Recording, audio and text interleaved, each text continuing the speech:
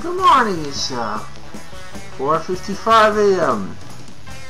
And lots of times I get my poetic inspiration right about this time because my sleeping habits are somewhat, um, how shall I say it, inverted.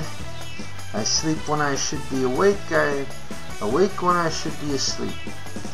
Well, it's a profitable use of time to uh, write a well-crafted poem, and that is what I have attempted to do here. It's called Bad Investment. It's a blast from the past. I have not thought about this person for years, and all of a sudden, I remembered that it was her birthday. And uh, here we go.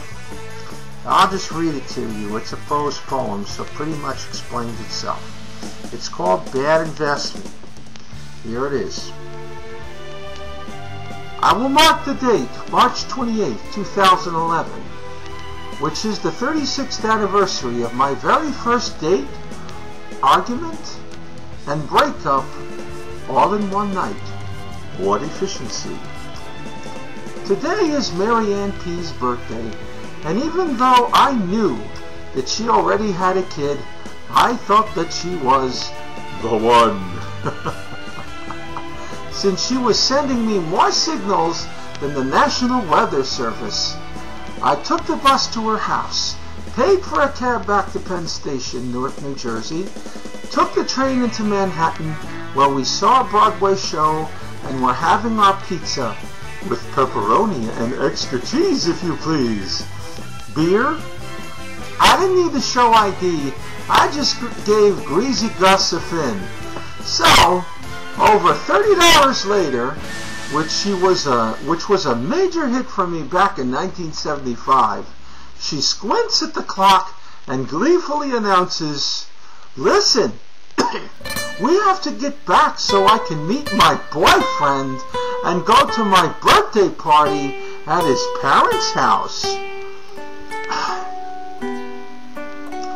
I stared long and hard at the bump in her nose. She kind of looked like Vladimir Putin with tits, only she didn't take off her shirt. And then I quipped, So thanks so much for letting me know. After a prolonged heated exchange, she storms out of the pizza joint, and that is when it dawned on me that part-time jobs never provide benefits and that the only wages paid were by me for tough lessons learned. A bad investment, you might say? Perhaps. After all, with those 30 bucks, I could have gotten a half and half, knob job and a shag. Ah, fuck the life lessons. Give us some head. Happy birthday, Mary P.